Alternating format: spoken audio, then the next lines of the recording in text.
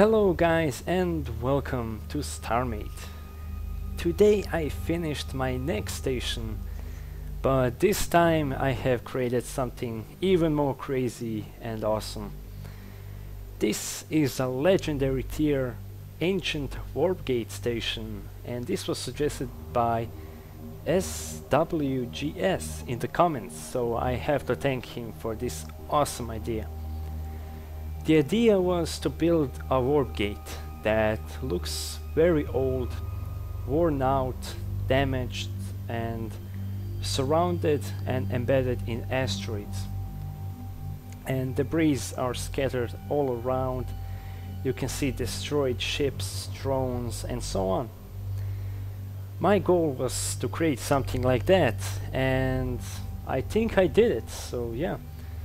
Fun fact, while I was building those asteroids and smoothing them out, my mouse died and I had spare one, so that's great.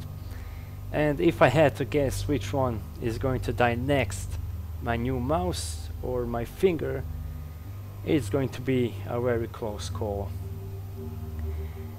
It was very hard to build this and it's probably one of the most painful jobs you can do in StarMade but it's done and it looks outstanding. The warp gate is functional, so if you want to use it in your own server, it's fully capable of supporting super capital ships, because even even my Infinity can fit through this. Also, fun fact, the shields on this thing are so powerful that I had to spawn the Infinity to damage some parts of this station.